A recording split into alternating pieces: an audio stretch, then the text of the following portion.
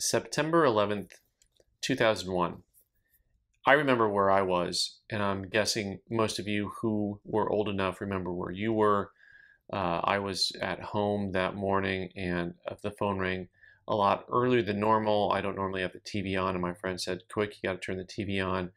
And uh, out here out west, I don't remember exactly how early it was, but the, the sun was up, but it was pretty early, and uh, got to see some stuff that uh, you know you'd rather not ever see, right? One way or the other, and so it's a it's a very moving, stirring time for everybody, and a very uh, emotional, just emotional subject. And so um, I had already made a video for this, and then I'm, I'm kind of reshooting it a little bit differently this time, and that is uh, when uh, the dust had cleared, so to speak.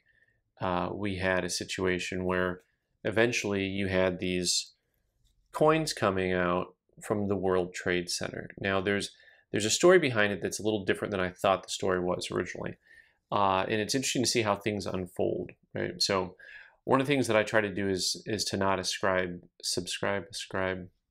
I try to not project too much of someone's their motivation uh, out there necessarily because everyone everyone has an idea about what someone else's business is, right? And so you actually saw a lot of older tokens from from the time of the colonies to the time of the Civil War, so the first 75 years, 90 years of this country where you had this saying, and it was mind your business.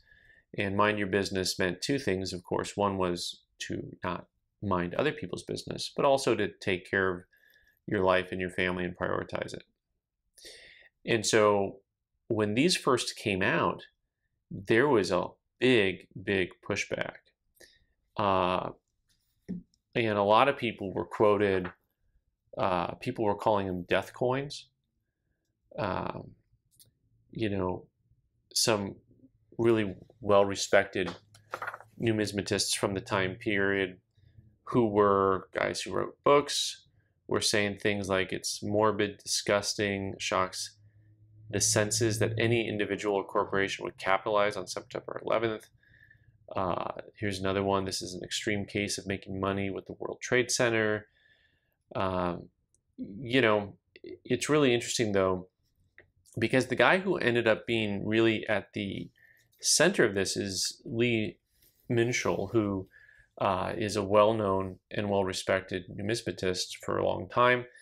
And so the story is pretty interesting because he bought all the coins and from Nova Scotia Bank, and the coins themselves were not in apparently either the towers that fell. They were in World Trade Center Tower 4, Building 4.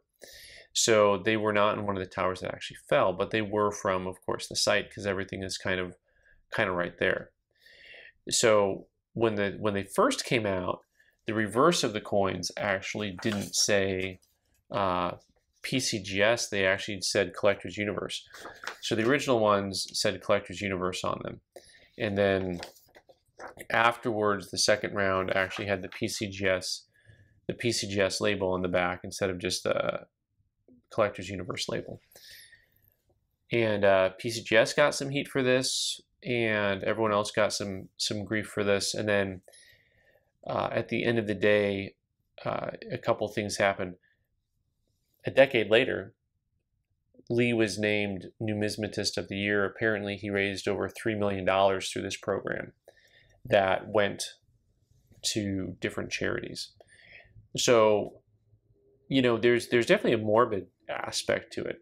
And one of the things I want to talk about is the fact that, you know, most things that are made to be collectibles are not collectibles, right? So so generally speaking, I am not a label guy when it comes to graded coins, right? So usually when something has a special label, I'm like, you know, this is a gimmick. It's not that historical. It's not that significant. And definitely today where you can you can get lots of different labels. But I do like these. I do think this is kind of a niche collector area, something that um, you know for 40 or 50 bucks, you can get smaller coins like this that have a piece of history attached to it that you can really connect with, right? And you can actually explain to somebody a generation down the road kind of what this is and where it's from.